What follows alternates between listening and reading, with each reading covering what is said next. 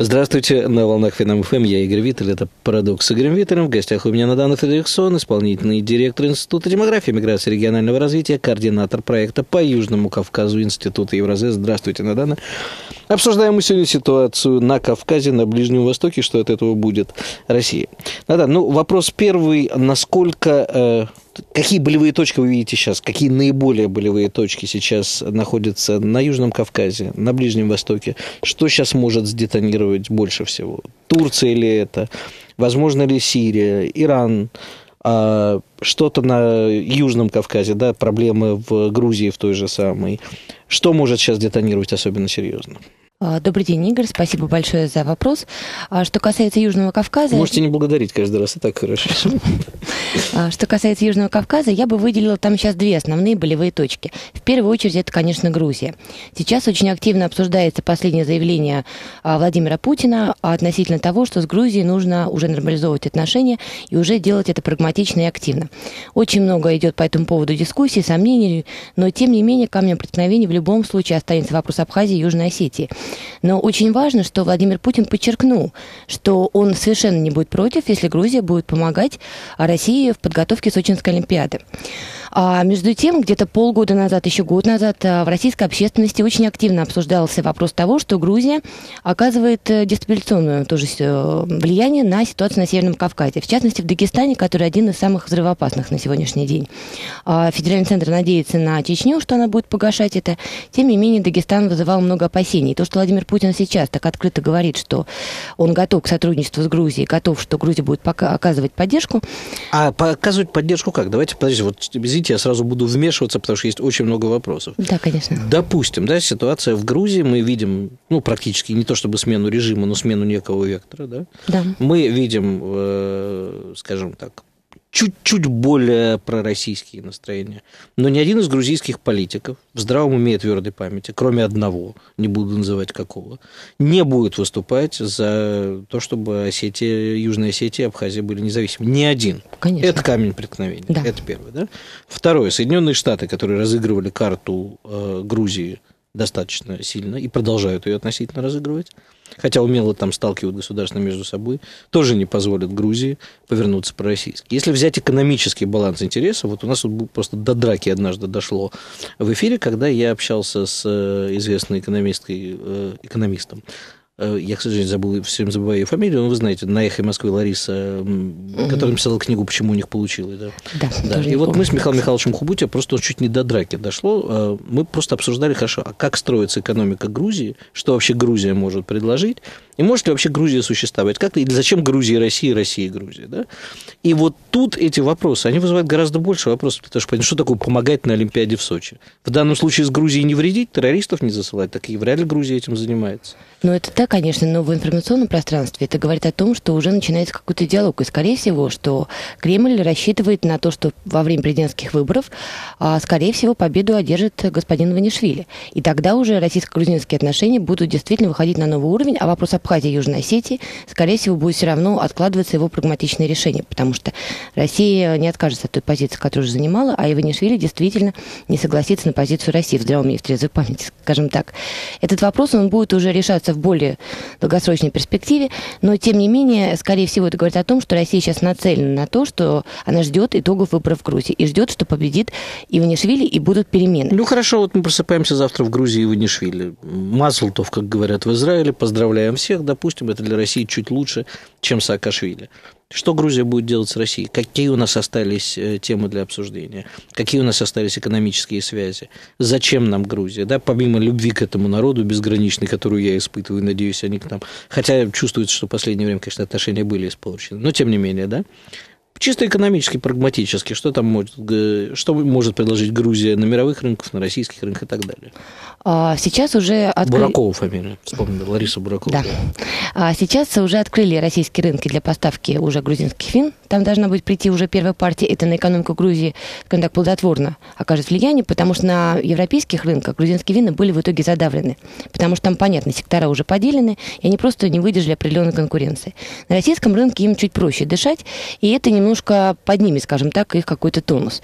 Но я не знаю, можно ли говорить в эфире, тут еще проблема... Можно. Можно. А, проблема воров в законе, угу. потому что как только у нас в Грузии начались проблемы, вот тогда в шестом году обострились... Воры в законе были отправлены в Россию. Да, а у нас закрылись казино угу. в России, которые все-таки имели к ним прямое отношение. А, несмотря на то, что, конечно, это не совсем легальные вещи, но тем не менее их деятельность, в том числе и казино, это тоже оказывало влияние на экономику и России, и, соответственно, Грузии. И, скорее всего, эта ситуация опять начнет меняться. То есть в России, скорее всего, уже откроют ну, большие сектора игровых зон. Может быть, не так, как раньше, но это все начнет возвращаться. Угу. И это, опять же, создаст новый диалог. Другое дело, что западные коллеги... Это прекрасно звучит цинично, но прекрасно. Я правильно понимаю, что а, будут созданы новые игровые зоны, которые по-прежнему будут э, курироваться грузинскими ворами в законе, что создаст новое пространство для диалога между экономикой России и Грузией? Конечно, это заявление такое очень провокационное. Ну, а как, а если они контролируют, то кем они будут контролироваться Ну, теперь? скорее всего, я думаю, так и будет. Вопрос, что это, конечно, будет не завтра, не послезавтра, что угу. прям вот резко прошли выборы, сразу все это произойдет. Но я думаю, что в ближайшей перспективе и что а, к периоду, может быть, после Сочинской, Сочинской Олимпиады зимней, как раз мы начнем это наблюдать. Угу. И, кстати говоря, мне кажется, что в Беларуси игровые зоны, они везде, они открыты.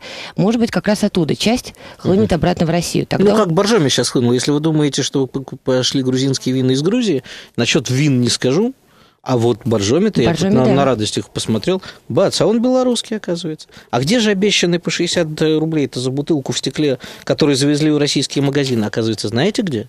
И две фуры завезли всего. Поэтому я не очень понимаю, как две фуры могут оказать влияние на экономику. Это я считаю, что просто проба пера. Пройдет ну, время, может, это все увеличится, может быть, конечно. Но опять-таки, вы же поймите, а в советское время, которое вы наверняка по молодости своей не помните, да, ну, Боржоми это было один из немногих, там, минер... одна минеральная вода, ну, полторы было, там, Нарзан помнили Боржоми, да. Сейчас э, в этой конкуренции, при всей моей любви к Боржоми, ни грузинские вина на российских полках, ни Боржоми не займут того места, которое это бы зака оказывал существенное влияние на экономику Грузии. Прежние позиции утеряны. Прежние, и прежние, да. кстати, тоже это было хорошо для отдельных производителей. В целом на экономику Грузии это такого влияния не оказывало. Возможно. Тем не менее, в любом случае это будет приятно, мне кажется, что их портрету в целом к общей ситуации. Другое дело, что если к власти придет все-таки больше президент, который настроен на восстановление диалога с Россией, угу. то здесь, конечно, начнется очевидно такое противостояние уже с западными партнерами, которые попытаются перебить этот диалог а, большими предложениями инвестировать деньги под другие проекты. И здесь будет такое противостояние. Я считаю, что в этом случае Россия, конечно же, Грузии начнет предлагать таможенный союз и Евро евразийский проект обещает те же блага, которые обещает сейчас другим партнерам, а, как Армении, Белоруссии. И вот что будет намного проще, будет проще перемещаться по территории России, что миграция будет уже легальней, и, соответственно, будут заработки. Угу. Это будет, скорее всего, такой ответ России. Но в любом случае, пока Михаил Саакашвили имеет право голоса, а пока он его имеет, говорить о том, что действительно полноценно будет налаживаться диалог и будут какие-то прагматичные результаты в области экономики в том числе, конечно, маловероятно, потому что Кремль все равно ждет некого подвоха. Угу. И сейчас вот, кстати, а, последние события в Афганистане, которые произошли, что там напали, кажется, на грузинских... А, миротворцев. Да, миротворцев, и что Михаил Саакашвили поэтому... Ну, не миротворцев, там, по-моему, на контингент, да. О, да, по-моему, на военных грузинских. Угу. И Михаил Саакашвили по этому поводу собрал как раз совещание. Кремль все равно ждет подвоха, потому что Афганистан тоже одна из таких центровых болевых точек. И России очень не нравилась позиция Грузии в отношении Афганистана при Саакашвили, потому что понятно, чьи интересы Грузия тогда отстаивала.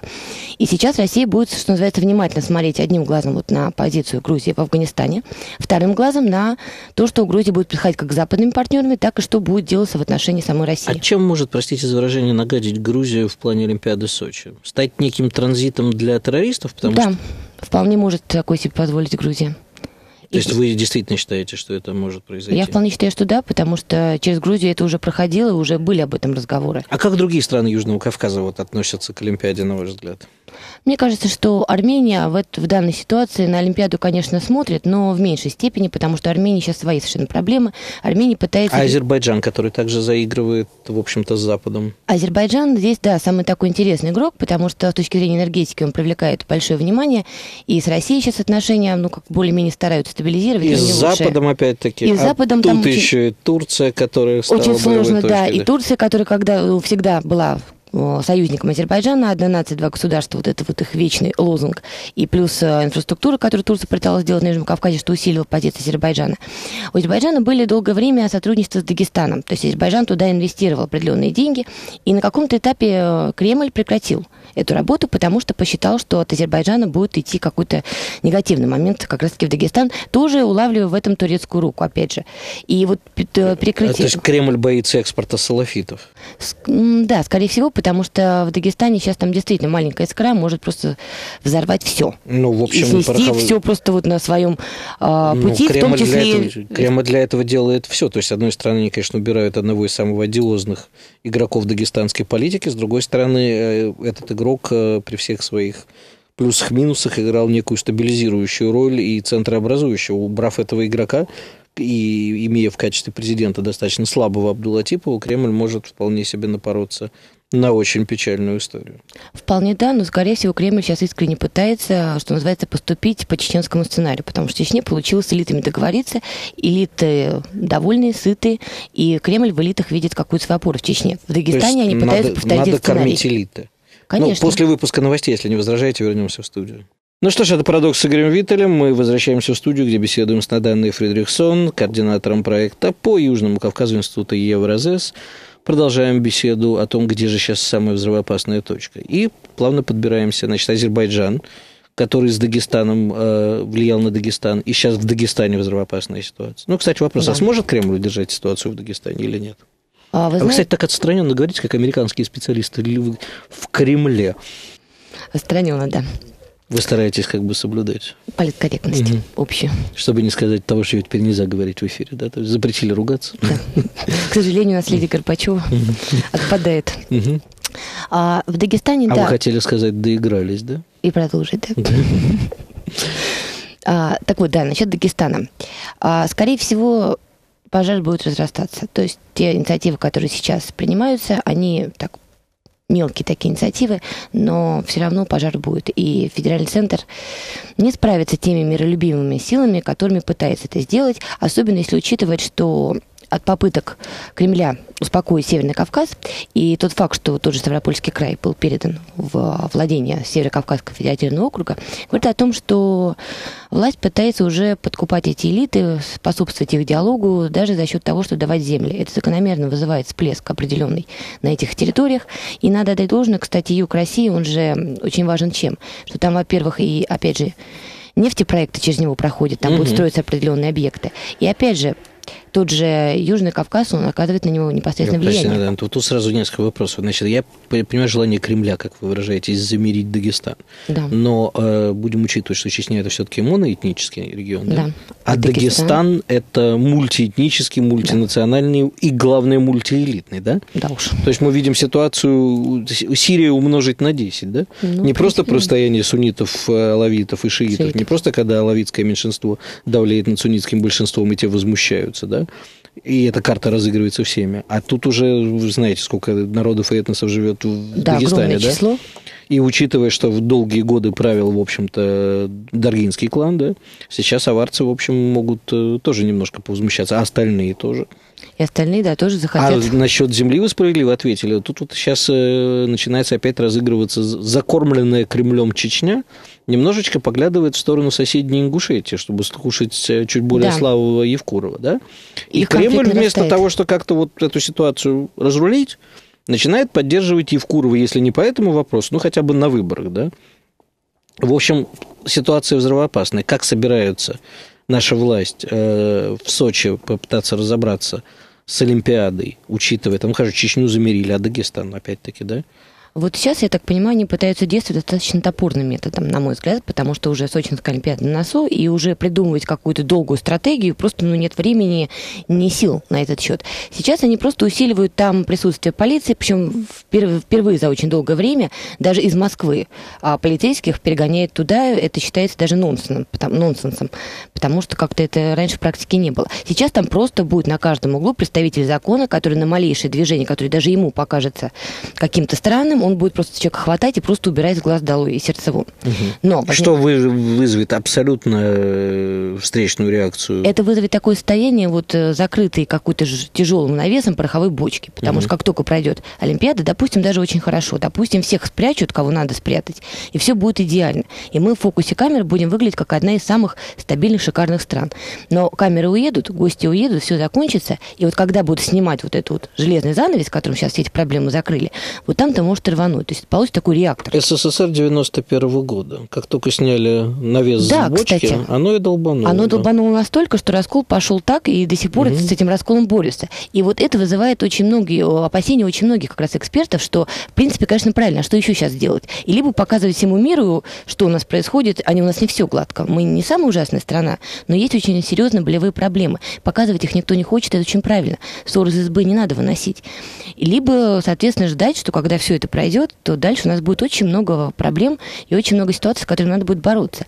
Ну вот у меня как раз вопрос еще чуть в сторону отъехать, потому что вот последняя болевая точка – это Турция. Я надеюсь, мы сейчас вот еще выйдем на связь с человеком, который оттуда недавно вернулся. Но мне вот интересно, насколько турецкая ситуация может сдетонировать ситуацию на Южном Кавказе, на Северном Кавказе, насколько это вообще может ударить не только по энергетическим интересам России, мы знаем, что Турция находится в перекрестии да. многих интересов России, да, в том числе и э, энергетических, но э, и стать экспортом неких технологий, я имею в виду политических, религиозных и вызвать цепную реакцию в этом регионе. Вот вы знаете, да, вот это очень возможный сценарий, хотя сейчас есть два таких полярно разных мнения. Кто-то считает, что события, которые сейчас происходят в Турции, как раз наоборот, создают ту необходимую паузу, чтобы защитить определенные регионы России от вот этого вот влияния негативного.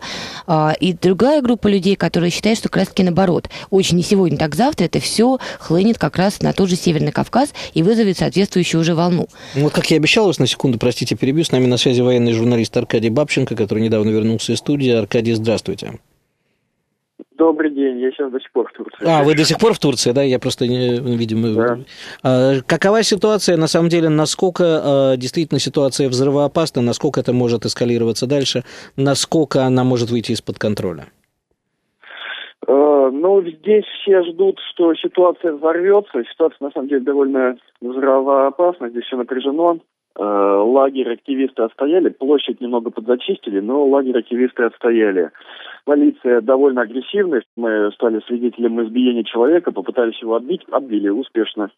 Вот, но, в общем, здесь в воздухе что-то витает. Обстановка уже совсем не так, как была э, там 3-4-5 дней назад. А вы считаете, что ситуация может привести к оставке Эрдогана или к э, еще более серьезным последствиям?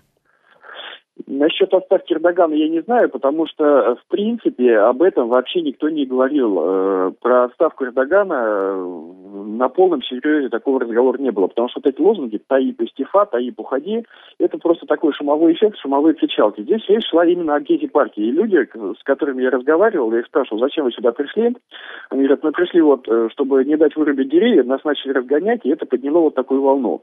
И речь шла только о гете партии. Зачем Эрдоган предпринял такой шаг, зачем он начал это разгонять, мне совершенно непонятно. Это абсолютно логичный шаг, потому что это само бы все растянулось, здесь оставалось несколько сотен человек. Аркадий, ну мы же с вами будет? прекрасно понимаем, простите, я вас перебью, а, еще со времен школы у нас, знаете, учили научному коммунизму, что есть причина, есть повод. Мы понимаем с вами прекрасно, что Гези Парк это был повод, а причины в обществе назрели а, давно, да, и поэтому разгоняя, не разгоняя Эрдогана, эти люди все равно вышли на улицы недовольные тем, что происходит. Ну да, да, безусловно, но э, здесь дело в том, что его в принципе, отставка его в принципе не нужна, потому что здесь э, вполне себе адекватные выборы, и он досиживает свой, свой срок, он идет э, в любом случае, и там дальше выбирай кого хочешь. Здесь э, не совсем так, как, как в России, узурпации власти здесь никакой нет.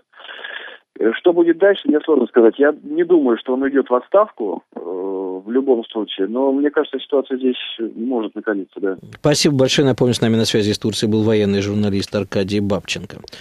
Ну, я как бы поспорил бы с Аркадием на тему узурпации власти, то есть формально, да. может быть, ее и нету, но партия Эрдогана, она, в общем-то, у власти давно. Другое дело, что сейчас мы видим раскол партии, видимо, по линии Эрдоган-Гюль, потому что, скорее всего, люди, с которыми поссорился Эрдоган, они не очень довольны ситуацией. Партия от власти не уйдет, а вот Эрдоган уйти может. Да, но мне просто понравилось, западные СМИ тоже стали сравнивать э, эрдогановскую Турцию с путинской Россией. То есть такие вот тоже тонкие намеки на тему того, что наши страны слишком непозволительно стали сближаться. То есть такой угу. вот месседж, скажем так. То есть одна из э, историй, как бы стоящей за Турцией, что Запад умело воспользовался ситуацией в Турции, действительно назревшей, так же, как и в России, для того, чтобы немножко наказать Эрдогана за его сближение с Россией. Может быть, даже не за прямо прямое сближение, потому что как такового сближения мы не наблюдали. Ну, по за его позиции, намеки, да, на, по некоторым энергетическим вопросам. Что он может это сделать. То есть это вот, опять же, доигрался действительно. Уж нельзя намекать очень долго на какие-то моменты. Можно ну, то же самое по Сирии, там не очень понятно. Кто-то говорит, что его наказывают за неактивную позицию по Сирии, кто-то, что за чересчур активную. Мне кажется, вот в данной ситуации, вот мое личное мнение, что, конечно, ситуация Сирия, Турция, их нельзя разделять, но учитывая то, что сейчас происходит в Турции, мне кажется, что вот сирийский вопрос, что он не, Турция не вмешалась в итоге, как обещала, или наоборот, пыталась слишком активно, мне кажется, это надо немножечко разделить, потому что это отдельная проблема, это отдельные какие-то, может быть, договоренности Турции с западными коллегами. Не, ну, Западу просто не нравится не османский проект. Вообще Западу не нравятся сильные лидеры. Насколько... Знаете, я весь прошлый год задавался одним и тем же вопросом, и сам себе, и всем гостям своей студии, да, я всегда спрашивал, послушайте, а вот а, позиция Соединенных Штатов и союзников по арабской весне это идиотизм или это а, просто какое-то злонамеренное? Либо мы чего-то не знаем, что они знают. Ну, просто потому что люди умудряются сами себе копать э, действительно ту пороховую яму, засыпать в нее порох и, в общем, терпеливо сверху прикрывать крышкой и ждать, когда взорвется. Если посмотреть со стороны, да? Ну, зачем нужно было в Египте вполне себе лояльного Мубарака менять на э, братьев-мусульман? Зачем то же самое было делать в Ливии, да? Зачем Соединенным Штатам? Вот сейчас, глядя на это издалека, видимо, все-таки я понимаю, что это разделяя власть, ослабить всех, да? А, есть такая теория, она, кстати, была достаточно популярна на каком-то этапе. А, это вот, скажем так, пресловутая идея да, восстановления халифата. Угу. Когда шла арабская весна, там происходил вот такой очень интересный момент. Да, происходил политический переворот, к власти приходили а, исламского толка правители, но уже все-таки они приходили к власти при помощи Соединенных Штатов. И, конечно, они становились партнерами в той или иной степени Соединенных Штатов. И вот если посмотреть на карту продвижения вот этой арабской весны, как, вот, как поезд в метро идет, и на каждой станции останавливается, и где происходит то, что должно произойти. И получилось, что эти страны, да, там сейчас э, иногда бывают антиамериканские вспышки. Вот когда выходил этот фильм «Невинность мусульман», угу. как раз вызвало, что в этих же странах, где была арабская весна, стали штурмовать э, посольство Америки. Угу. Это был такой информационный выпад против Америки, и вряд ли самой же Америка спровоцирован, потому что их растерянность тогда и как-то немножко даже неловкие попытки это загладить, они бросались в глаза. Так вот, скорее всего, э, была такая теория, что Америка, проводя вот эту арабскую весну, пытается сделать очень простую, в принципе, вещь. Да, там энергоресурсы, которые ей нужны, но а, это такой новый тип халифата. Они все равно в той или иной степени, эти элиты новые, которые приходили к власти, они в той или иной степени благодарны или зависели от Вашингтона. И путем, что Вашингтон их объединял.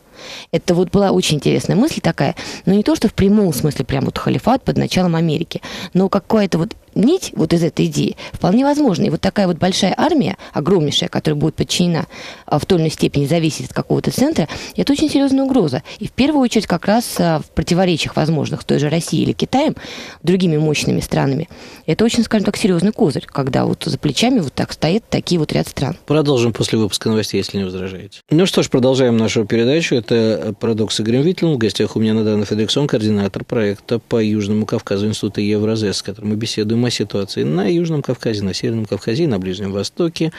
Надана, а я бы эту теорию, может быть, даже э, о том, что у власти остаются элиты, благодарные Соединенным Штатам, да, или Вашингтону, как говорят, ястребом с капиталистского холма уже в вашей терминологии, я бы, может, и поддержал э, с одним «но». А мы, э, во-первых, видим ситуацию, когда, придя к власти, они очень быстро забывают своих благодетелей. Да, эта ситуация, в общем, чем-то напоминает, правда, диаметрально противоположно историю с Ираном 79 года, да? Да. Диаметрально противоположно, тем не менее, да?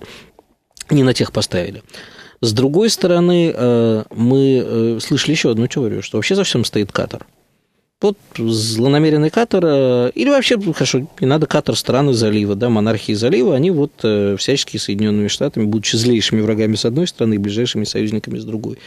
Либо вот мне излагали, например, теорию люди, причем в теме находящиеся, что вообще за всем стоит Иран, который руками Соединенных Штатов устраивает э, вот такие провокации, да.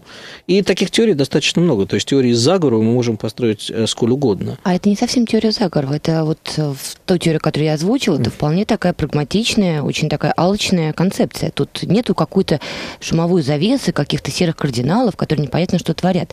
Там интересы предельно простые. Усилить свои позиции, учитывая, что все-таки Соединенные Штаты находятся на другом континенте, и заполучить энергоресурсы. Тут, мне кажется, не надо далеко ходить. А вот то, что вокруг Ирана а вот тут я бы с вами такие... опять поспорил. Знаете, это давнее мое желание с вами на эту тему поспорить. Вы абсолютно справедливо излагаете, как, как бы исходя из э, ситуации с Соединенных Штатах, в общем, скажем так, десятилетней еще давности. Соединенным Штатам сейчас им абсолютно незачем э, лезть в европейские энергоресурсы, если только не отстраивать позицию своих э, партнеров, да, потому что э, в Соединенных Штатах произошла энергетическая революция. Соединенные Штаты, например, получив сланцевый газ, практически закрыли свои энергетические проблемы. Зачем им? Зачем нам поручик чужая земля? У нас и так все хорошо. Либо, как бы, с геополитической точки зрения, тут еще можно поспорить, да, действительно, может быть геополитика чистая, без экономики. Просто вот, как бы, ослабить напряжение, столкнуть, пусть они там между собой, между собой воюют. Если вообще посмотреть на говорили про Ирак, да, что Соединенным Штатам была нужна иракская нефть. Ну, помилуйте, Соединенные Штаты потратили на войну в Ираке по самым скромным подсчетам 800 миллиардов, по самым большим 2-3 триллиона долларов, да? Да, там потери были колоссальные. Ну, возьмите, э, хорошо, посчитаем мировую закулису, да, допустим, что все энергетические компании Соединенных Штатов, получившие контракты, ставшие бенефициарами, возьмите все их заработки, да, ну, хорошо, как-то можем оценить геополитическую выгоду от того, что произошло в деньгах, и тоже приплюсовать. Это, вы знаете, несоизмеримо с потерями Соединенных Штатов в Ираке. Возьмем войну в Афганистане можем посчитать любую другую войну. Ну да, афганская война, она вообще принесла Поэтому говорить о том, результат. что Соединенные Штаты вмешиваются в какую-то энергоигру, ну, возможно, но Соединенным Штатам сейчас вполне и так хорошо. Там исландцевый газ появился, новые технологии, да, горизонтальные бури, все фрекинги и так далее. А вполне возможно, Соединенные Штаты свою проблему-то решили. А вот а, с другой стороны, соответственно, освободившиеся мощности, да, Соединенные Штаты вполне себе... А куда теперь СПГ-то девают? Куда Катару, который на все это ориентировался? Вот оно интересно. И который еще ну, Газпром бы отсечь от их проектов. Странам залива тоже там хорошо право. Вот кто может за этим всем стоять. Вполне возможно, но все-таки, как вы сказали, вот геополитический контекст, его тоже, мне кажется, что списывать не надо. Потому что, да, они свои проблемы решили, да, у них, может быть, более-менее на сегодняшний день стало поспокойнее, постабильнее, хотя это тоже очень такой шаткий вопрос. Но это не отменяет того, что они, в принципе, очень не против ослабить других игроков, чтобы при других переговорах, скажем так, быть выше и навязывать свою волю, свои интересы. Это еще не отменяло того, что Соединенным Штатам Америки выгодней добить вот это вот сердце, как Бжезинский писал, сердце Евразии. Он об этом писал открыто. Возможно. Но только извините, пожалуйста, Соединенные Штаты говорят, что Иран не должен иметь бомбы, потому что бомба не должна находиться в руках фанатиков, да? Тем же просто поддерживая тех же самых фанатиков в Сирии против Асада, в Ливии против Каддафи, в Египте. Они что думали, что придет э, к власти в Египте не братья-мусульмане, а придет э, этот атомный... У меня фамилии сегодня все выскакивают. Ну, вы знаете, о ком я говорю, да? А, человек, занимаешься атомным проектом, как это европейский, ну, бог с ним, вдруг у меня выскочила фамилия, да, что привезут цивилизованные, прозападно настроенные... Да нет, я думаю, они настолько наивные никогда ну, не были, а че, вряд ли Чего будут. тогда одним фанатикам бомбу не давать, а почему тогда другим ну, можно давать бомбу и оружие? Мне кажется, там все равно уже понятно, что вот эти все санкции МАГАТЭ, что нет, вы там делаете плохие вещи, вы нам докажите, а Иран сопротивляется. Мне кажется, тут, конечно, понятно, что дело совершенно не в этом, что это такая общая большая декорация, вокруг которой все пляшут и параллельно решают свои вопросы. Другое дело, что вот эта вот ситуация по а, ядерной программе Ирана, она очень злободневно так провоцирует Россию, потому что Путин э, буквально на днях высказался, что он не считает, что Иран делает что-то там противозаконное или что-то, что противоречит санкциям а, а, Конвенции ООН. Угу. На что журналисты обратились, соответственно, к пресс-секретарю, по-моему, Белого дома, и тот занял позицию, что он вообще не слышал позицию Владимира э, Путина. Когда ему ее озвучили, он сказал, а наша позиция осталась прежней. То есть в любом случае вот этот вот ядерный вопрос, угу. он создает такой треугольник отношений. Это Россия с ее какими-то ядерными проектами, это Иран и, соответственно, Соединенные Штаты. Америка прекрасно понимает, что ядерное сотрудничество России и Ирана, оно вполне возможно, но тоже будет э, продвигаться очень аккуратно, очень так поступательно. Там какого-то бурного сотрудничества, естественно, не будет. С другой стороны, Америка понимает, что кроме ядерного сотрудничества, Ирану и России сейчас нужно только думать о том, где находить новые точки соприкосновения. Если они найдут, ну, Америке будет очень печально, потому что Иран тогда как-то больше будет с региональными соседями дружить, и ну, как-то это повыгоднее будет. И вместе будут уже разделять и властвовать какие-то там территории, вопросы и так далее. Америка окажется за бортом. film Америке это не нужно. Гораздо проще, на мой взгляд, развить вот этот ядерный карнавал, вокруг него скакать, плясать, под этот ядерный карнавал смотреть на оппозиции других стран, других игроков, кого-то на себя перетягивать, и тем самым создавать уже те декорации на будущее, на перспективу, которые будут выгодны. А вокруг Сирии им зачем плясать тогда? А вокруг Сирии все-таки я склонна думать, что они планировали все немножко не так, на мой взгляд. Что они а мы можем, кстати, сейчас, простите, говорить о том, что в Сирии все пошло не так, как прогнозировали, и Асад э, явно побеждает? Вот э, явно побеждает побеждает, мне кажется, тоже немножко преждевременно, но что он продержался столько времени, еще, в принципе, что называется, давал жару в ответ. Ну, это, и конечно, продолжает давать жару. Да? Продолжает да, давать жару в ответ. И это, конечно, показатель того, что Америка, ну, несколько либо недорассчитала какие-то свои э, планы, потому что одно дело написать стратегию, другое дело исполнение этой стратегии. Это тоже две разные вещи. А зачем Америке-то Асада свергать? Вот объясните да мне. я не думаю, что у них прям была первая задача, может быть, изначально, да, там, провернуть арабский сценарий, поставить другого человека, на этом успокоиться. Опять же, здесь очень важно, что вокруг Сирии, посмотрите, сколько других проблем тут же стало стягиваться. То есть игроки геополитические, которые претендуют на какие-то... Катар, Катар опять-таки. Хорошо, Катар. Которые претендуют на какой-то определенный статус, они же, видя вот такой вот кипиш, угу. они моментально туда, как пчелы на мед, слетаются. И тут же проявляются какие-то заявления и какая-то новая почва для других уже диалогов, споров, противоречий и так далее. То есть это такой, знаете, проект, из которого можно вырастить много других проектов и посмотреть за поведением разных игроков. Кого-то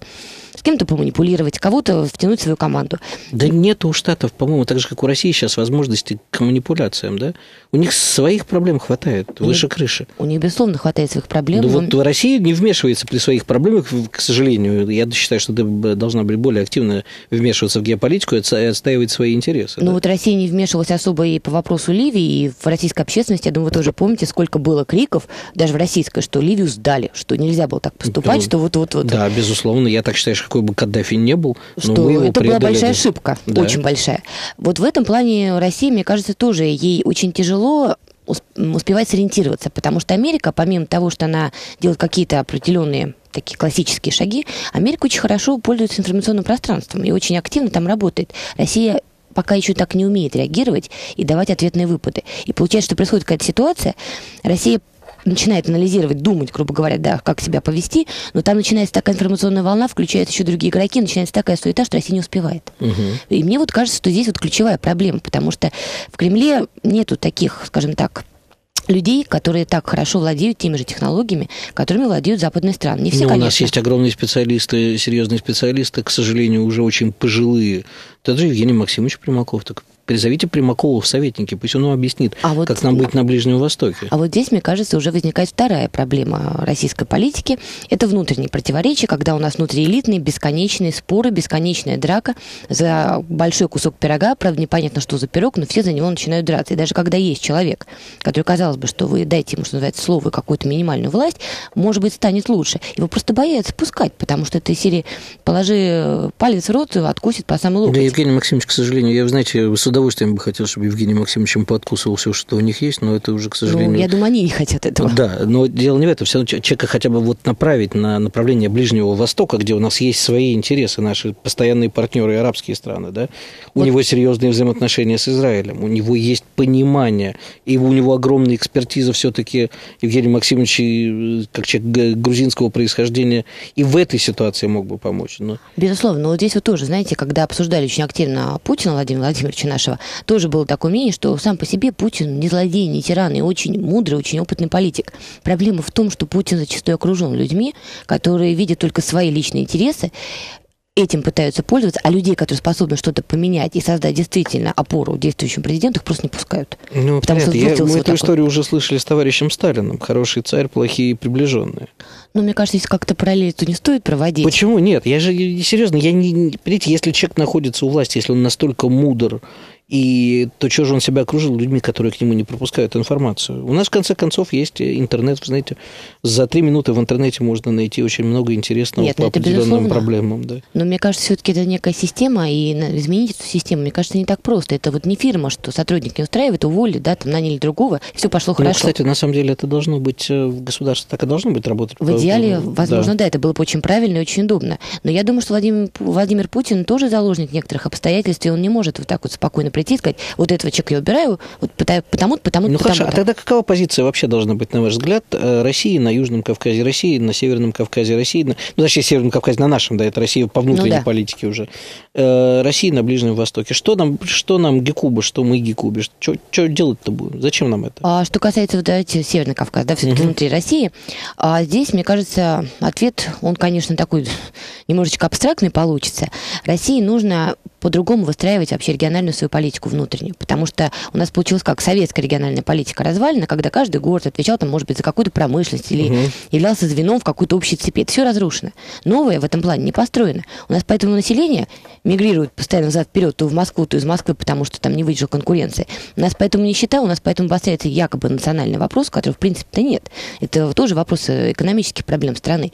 И вот за счет того, что Северный Кавказ тупо пытаются либо закрыть вот чем-то вот таким тяжелым, либо подкупить. Вот если Россия продолжит свою внутри такую политику, будет взрыв, будут проблемы, будут э, волны, митинги, будет, скажем так, повод здесь и даже усилить А дестабилизацию. как вам кажется, есть ли сейчас, э, скажем так, противостояние Кадырову в Чечне? То есть, если не сегодня уходит Кадыров, Если сегодня идет Кадыров, я боюсь, что в Чечне начнется все очень не здорово. И то, что Мгм. было так или иначе сделано, многие осуждают, а, как было сделано вот эти вот, скажем так, миротворческие моменты. Кто-то говорит, что это чуть ли был, знаете, знаете, не бандитский разговор, да, в результате которого это получилось. Но в итоге это получилось. значит, чуть ли не бандитский разговор. Это и был бандитский разговор. Мы Ну. это прекрасно понимаем.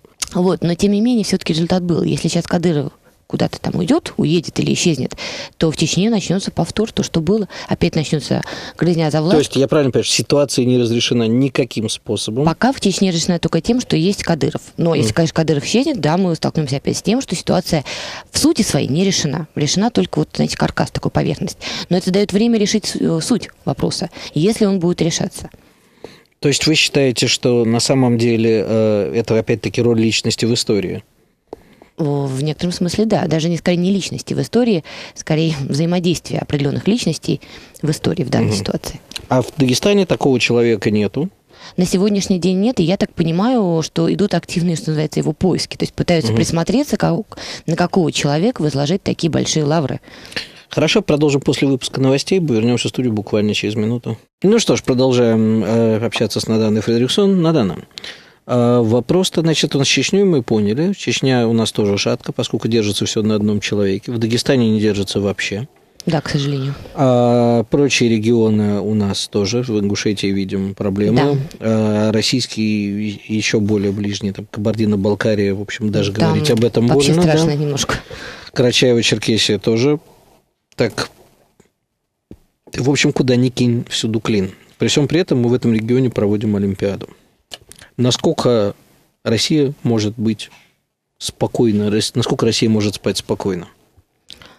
Учитывая, опять же, те инициативы, которые сейчас делает Федеральный центр, я думаю, на время проведения этого мероприятия чудесного Россия может спать спокойно. Но очень маловероятно, что произойдет какой-то такой момент, который Федеральный центр сейчас не просчитал. Я думаю, сейчас все, кого надо, уже обезвредили, обезопасили, и сейчас просто вот такая искусственная... Кого обезопасили? Подполье-то наверняка. Я думаю, там сейчас с этим уже работают. Я думаю, что там уже отправили определенные группы, цель и задача которых просто все зачистить. Мгм. Вот в прямом смысле отогнать, зачистить уже там, что называется, без суда и следствия, прости господи. Но проблемы начнутся, опять же, когда Олимпиада закончится. Вот здесь вот у нас будет очень много проблем. И что с ними делать, совершенно непонятно, потому что отправлять туда военный контингент и топором, что называется, наводить мир и порядок, это просто не получится. Во-первых, тут же прибежит мировое сообщество с криками и руганью, какая у нас не демократическая страна.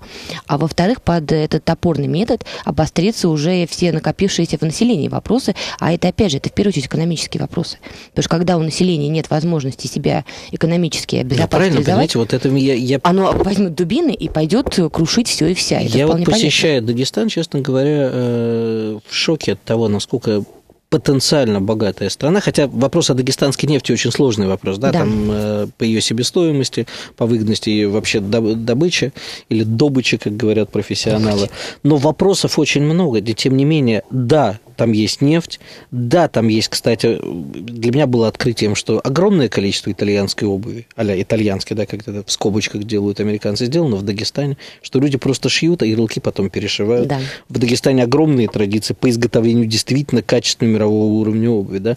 Там есть сельское хозяйство, есть ремесленники, люди живут в чудовищной нищете, и, естественно, вместо того, чтобы проводить какие-то а, экономические преобразования, которые позволили, знаете, как любили говорить либералы там первой волны, не надо кормить человека рыбой, надо дать ему удочку, да, да? Это отчасти в данном случае правда. И в Чечне эту удочку не дали, да, то есть заливать все деньгами центра, это не решать проблемы. Это, и... знаете, извините, перебью, это как дать самостоятельность подростку, в котором родитель еще не уверен. Да, потенциал, перспектива есть, но той же даже Чечне, казалось бы, да, очень боятся дать какую-то свободу действий, потому что полагают, что как только этот подросток получит минимальную какой-то кусок своей личной жизни, его понесет на все штихеля, что называется, и опять придется решать все сначала. Поэтому вот это вот искусственный родительский контроль есть перспективы, есть что развивать, но в Дагестане пока еще не нашли, видимо, того человека, на которого можно опереться, точно не будут давать Знаете, никаких я. Я думаю, что тут э, не очень точная э, метафора, тут скорее так, что хотели бы дать даже возможность э, подростку порулить, но сидит дедушка, который давно уже все купил. И дедушке вовсе не выгодно, чтобы этот подросток, или даже не подросток, а отец его, хоть как-то вмешался. Да? Клановая коррупционная система, которая там существует, она, к сожалению, убивает все живое. Ну, в принципе, да, им больше выгодно то положение дел, которое сейчас есть. Но в любом случае перемены будут. Вопрос просто, как они будут происходить. Что называется, совсем кроваво в черно-красных тонах, или как-то больше, ну, по-человечески, поспокойнее. А вы не ожидаете для России, вот я не люблю этого слова, и мне, кстати, очень многие, в том числе дагестанские друзья, просят не произносить слова «радикальный ислам». Хотя mm-hmm. тут некоторые мои радиослушатели и телезрители интерпретируют, что мне кто-то сверху запрещает. Нет, не сверху запрещает. Я стараюсь избегать таких формулировок. Ну, хорошо. Насколько опасно вот экспорт для России радикального ислама? Возможно, из Сирии, где воюют сейчас боевики, где э, очень многие северокавказские боевики воюют. Более того, татарские и башкирские боевики воюют. То есть по Волжье мы вот недавно обсуждали эту тему. Это огромная проблема тоже может случиться для России и с этой стороны. Да? Насколько опасен экспорт вот этих технологий в Россию? Насколько сейчас... Мне вот недавно один из гостей моей студии сказал фразу, что в Москве и в столице потенциально 600 тысяч последователей радикального ислама. Ну, мне кажется, это все-таки немножко вот мне тоже, да, не, что-то не... как-то здесь Надеюсь, по крайней мере, что это точно не так. А вы знаете, к сожалению, население Российской Федерации вообще вот во всех регионах, даже обозначенных, опять же, из-за низкого экономического социального статуса, оно сейчас проходит тот период, когда идет всплеск религиозности. Не будем это как-то определять, угу. но вот это вот полотно, которое сейчас формируется, оно очень благосклонно впитает в себя некие технологии, которые будут все это больше поднимать, но в любом случае это будет политически уже какое-то направление, потому что их будут направлять конкретно на какую-то задачу. То есть не просто все повально молимся Богу, да, мы не молимся Богу, это, конечно, отдельный вопрос, а мы еще берем дубины или там берем пистолеты и идем в конкретную точку решать вопросы. А вам не кажется, что вот э, история с тем, что Россия перестает отчасти быть светским государством, и сейчас, в общем, церковь становится в России одной из политических сил, и недовольство государством перекидывается на церковь, отчасти это отталкивает от православной церкви, и толкают людей э, к поиску альтернатив. Мы это видели в свое время в Советском Союзе. Бесчисленные кришнаиты, да. вплоть до э, клоунских последователей растафаризма, которым я, когда у меня был кудри, еще являлся даже когда-то. Джа нам поможет, да? Да, а, хорошая но, подробность. Да, но дело не в этом. Дело в том, что как бы э, отказ разочарования в официальной идеологии, разочарование в церкви, в православной, как в институте, да, потому что э, даже если человек ходит в православную церковь, зачастую их уходят в грузинскую, в греческую, вплоть до кипрских катакомников, да. только бы не иметь отношения. Когда-то было модно РПЦЗ там против Московской mm-hmm, патриархии. Да. Вот сейчас э, не происходит ли в ряде регионов э, как бы радикализация людей, которые готовы отказаться от этого и принять ислам, да? Ну, вы знаете, в любом и случае... И не только ислам, там, в общем, много ну, какую-то альтернативу, альтернативу, да. да. Безусловно, вот сейчас позиции РПЦ, они, скажем так, большинству населения абсолютно не нравятся. И многие считают, что последние законодательные такие инициативы, они, по сути, лишний раз вбивают такой прочный гвоздь в становление РПЦ уже как серьезного института. Знаете, как в Советском Союзе без партбилета было никуда. Угу. Вот многие боятся, что скоро без некой корочки о принадлежности именно к РПЦ также будет никуда. И, в принципе, сейчас действительно идет такая тенденция, что вполне возможно, что лет через 10 все к этому придет, и это будет очень негативно, потому что вот тогда у нас все-таки многонациональная страна, как у нас все любят повторять, все остальные люди других конфессий, они закономерно начнут, что называется, буянить. И сейчас уже есть предпосылки. Я вот была как раз а, в Сочи, проезжала. Mm-hmm. Адлер э, Топсе. Меня поразило, что там почти на каждом повороте висят огромные плакаты, баннеры с цитатами из Библии. Mm-hmm. Я там поговорила с людьми, которые не имеют отношения, скажем так, к христианству. Они очень сильно возмущены, пока еще лояльно. Говорят, а почему не повеш ничего из Корана? Раз уж вы вешаете там цитаты из Библии, что Коран это как-то что-то плохое, запретное. И у них уже вот это есть. Но это были, скажем так, интеллигенция, поэтому они так повозмущались. Mm-hmm. Но я так предполагаю, что там уже идет волна и тех, кому это уже не нравится совсем. Вот совсем неправильно. Ну, потому что мы явно идем по сейчас триаде православия самодержавия. Да, народности. Хватает, народности, народности пока не хватает, а православие самодержавие у нас э, по полной... Ну, я, кстати, в Сочи там было гораздо веселее. Я под Сочи видел плакат э, «Здоровая Кубань, крепкая семья, единая Россия», да. подпись генерал Ткачев, и, это не э, губернатор Ткачев, и три женщины, склонившиеся над одной коляской. Я не очень понял, что это, это троица символизировала, то ли крепкую семью, но сейчас но... по новому за, закону о запрете гей-пропаганды это вполне может быть, по-моему, ну, расценено. Да. Так что у них вообще в, в Кубанском крае с наглядной пропагандой это не очень. Ну, у них, скажем так, да, пиарщики тоже иногда да. делают Но дело не в этом. То есть вы тоже видите в этом потенциальную угрозу. Исходя из Кавказа, которая будет идти через э, наш юг России и по Волжье, да. то есть мы можем... Причем у меня такое ощущение, что власть, инициируя вот это вот усиление, она пытается сделать такой странный, на мой взгляд, шаг. То есть вот те межнациональные проблемы, которые у нас возникают, хотя возникают, на мой взгляд, опять же, они совершенно из других корней растут. Но, видимо, они считают не так, и они пытаются этот межнациональный вопрос как раз передвинуть вот в плоскость межрелигиозного взаимодействия. Зачем они это делают, я не очень понимаю, потому что если они планируют, что в дальнейшем иерархия будет строиться примерно так, что будет встречаться представитель там РПЦ там, с каким-нибудь имамом, и они между собой будут решать какой-то конфликт между русским населением там, Северного Кавказа, ну, это получится просто идиотизм, потому что не все русские православные, что называется, как и наоборот. И вот если они вот эту схему пытаются разыграть, это придет просто к катастрофе. С другой стороны, это, скажем так, несколько будет удерживать наше общество российское от перехода в так называемое сетевое общество. Вот это, да, это тут какая-то вот пробуксовка, что лишь бы не входить туда, потому что любой религиозный человек, э, имея в виду там и ислам, и православие, э, глубоко религиозный человек, он в первую очередь ограничивает себя от разных развлечений, в том числе тот же интернет. То есть эти люди, они читают, они молятся, они обучаются, но к интернету они не заходят. Как И правило. слава богу. Да.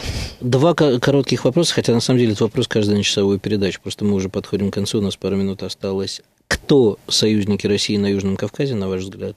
И а, потенциальное развитие, конечно, Нагорно-Карабахского конфликта, не увидим ли мы сейчас новый виток напряженности и агрессии в этом регионе?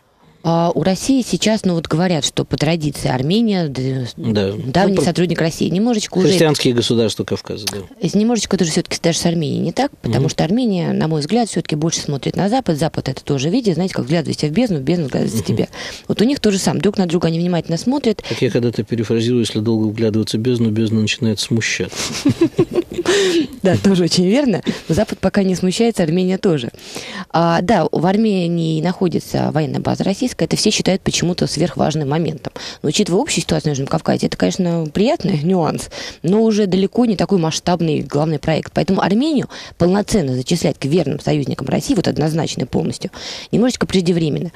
Азербайджан тоже сейчас отношения слабоваты, но у России в перспективе есть хорошие союзники. Если решится вопрос с Грузией определенным образом и начнется какой-то диалог, вполне возможно, на каком-то этапе все-таки страны выйдут на тот уровень, когда можно говорить, что союзнических настроений больше, чем разногласий.